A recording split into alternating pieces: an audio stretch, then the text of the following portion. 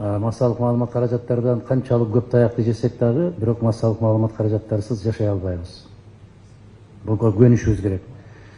Бир азаматтар айтып кетти көбүрөөк позитив жазсаңар деп. Мисалы айлык көбөйдү позитивпи позитив.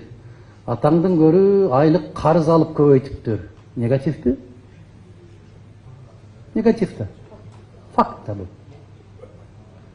маселе журналист эмес маселе ошол маалыматты кабыл алган инсанда. Баткенге үч миллиард сом бөлүндү позитивпи а эмне үчүн бөлүндү талкаланып калган үчүн позитивпи негативпи бул да факт. Кеп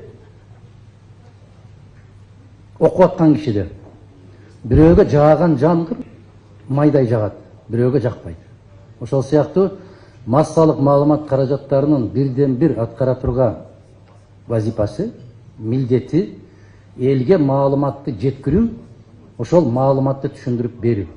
А жалган маалымат таратуу боюнча азыр дастан мырза коллегам кесиптешим айтып кетти муну менен бийлик алек болот азыр. Жалган маалымат. Ктрин карайсыңбы лтрин карайсыңбы жыйырма төртүн эмнесин карасаң ошону кара? Кызылдай калпты кечке жайлантып жатып алган ошолор алар үчүн күрөшүш керек ошолор үчүн күрөшүш керек. Экинчи маселе бул жерде мурат мырза кайра кайра россия федерациясын айтып атат. Россия федерациясындагы мамлекеттик каналдарды карап көргүлө келгиле анализ жасайлы. Кудайдын куттуу күнү соловьевдин кечеси бар. Андагы сүйлөп аткан азаматтардын сын пикирлерин карап көргүлө. Карен шахназаровду угуп көргүлө. Байкагыла яков кедмини угуп көргүлө. Дагы толгон токой эксперттерди угуп көргүлө не деген не деген нерселерди айтып атат. Аны бир дагы лдпр бир дагы коммунисттер партиясы айтпайт алар айтып атканды эртеден кечке сын пикир менен катуу согуп атат. Аябай катуу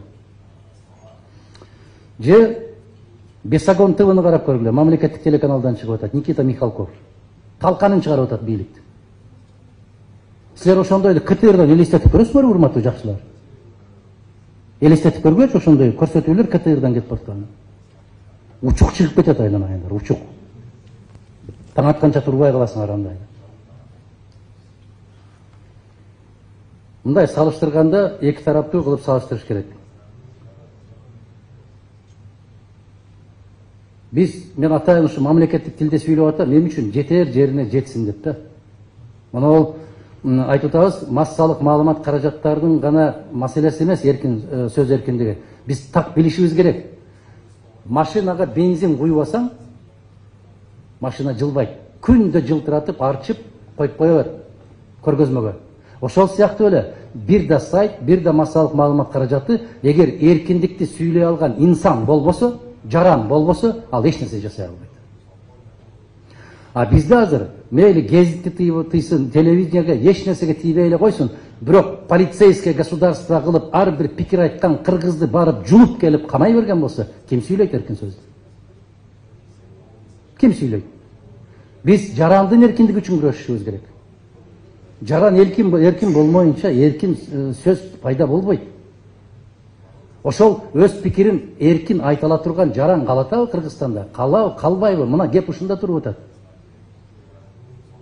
барын қорауға айдап кіріп бір сөз пікірін, пікірін білдірсең сен өз пікіріңді білдірсең сен террористтен қаттырақ қорқынышты болып атпайсың мына қамалып жатқан 24 инсан. Мына біріккен ұлттар ұйымының декларациясында 19 тоғызыншы беренесін қарап көріңдер всеобщие прав человека 19 статья пожалуйста никто не имеет права заставлять думать иначе. А их заставляет. Их заставляет чтобы они думали иначе они говорили иначе. Они только позитив говорили, о негативах молчали. Вот мы куда катимся. урматтуу кесиптештер эгерде биз баарыбыз ушундай болуп төгөрөк столго бириге турган болсок биз күчтүү күчпүз тилекке каршы сөз эркиндигине келгенде гана бириге калабыз дагы калган социалдык өтө маанилүү маселелер болуп атса да баягындай да кыргызда бир керемет макал бар көзүм көрбөсө бир жеримди бөөрү жесин дегендей мага тиешеси жокпу значит я посижу подожду. Это мне не касается. Вот вы помните да? Баягы чычкан жөнүндө чычкан бир короодон чуркап чыгып барып короодо ким жашайт? Короз жашайт экен бир кочкор жашайт экен и бир жылкы жашайт экен ат чычкан чыгып айтып атат кокуй могул кампада бир капкан коюлуп калыптыр дейт десе короз кочкор каткырып күлөт ал капкандын бизге эмне тиешеси бар дейт ал сага тиешелүү дейт чычкан капа болуп ичине кирет а ошол мезгилде кожоюндун жубайы un алайын деп нан бышырайын деп барат а жанагы капканга жылан түшүп калыптыр ал жылан кожоюндун аялын чагып алат анын ооруп атканын көрүп корозду союп шорпо кылып берет айыкпайт дарыгер чакырат кочкорду союп этин сатып ага дары алып берет анан болбой айыкпай каза болуптур эмне кылат жылкыны союп акыркы сапарга узатат баягы каптырып күлгөн короз да өлдү кочкор да жок жылкы да жок анан чычкан ойлонуп отурат дейт бизге тиешеси жок деди эле го эмне болду буларга деп? Ошол сыяктуу айланайын туугандар кыргызстандагы кыбыр эткен нерсенин баары бизге тиешеси бар. Бизге тиешеси бар.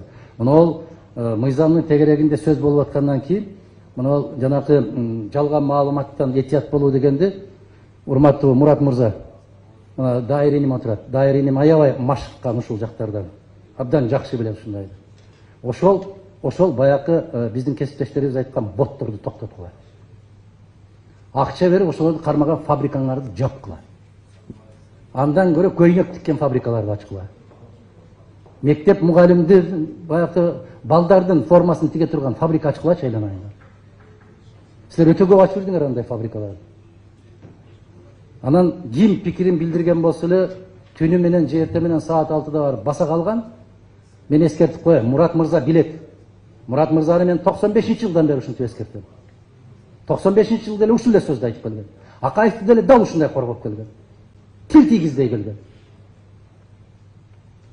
а натыйжада эмне кылды мына ушулар бийликтин баарын жеп аткан ушулар айланасындагылар кокуй мына азыр эле жанар мырза айтпадыбы жана алтымыш депутат кол коюп бериптир деп кандай кылган кезде дагы кол койбойбуз биз андай нерселерге бирок булар көнүп калган азыркы бийлик колун койдуртат дагы биринчи барагын алмаштырып туруп өзүнүн коюп коет аферизм деп коет муну кудайга шүгүр биздин депутаттар акыл эстүүлөр кандай кагаз көтөрүп келсе дагы азыр биз кол койбойбуз ага бирок монол мыйзамды менимче триггер деп коет ар бир нерсеге триггер бар да. Эгер ушул мыйзамды депутаттардын колу бутун бурап жана иса өмүркулов айтпады беле колу бутубузду бурап кабыл алдырган деп айланайын. Журт атасы деп кыйкырып жүргөн кишини бир түндүн ичинде кандай абалга салып койду мына ошондой абалга жеткирбеш үчүн силерге эскертүү да силер дыйкандар менен ойносоңор болот башка бир ишкерлер менен ойносоңор коркутсаңар болот башка кылсаңар болот. Бирок сөз эркиндигине келгенде биздин элди коркутуш мүмкүн эмес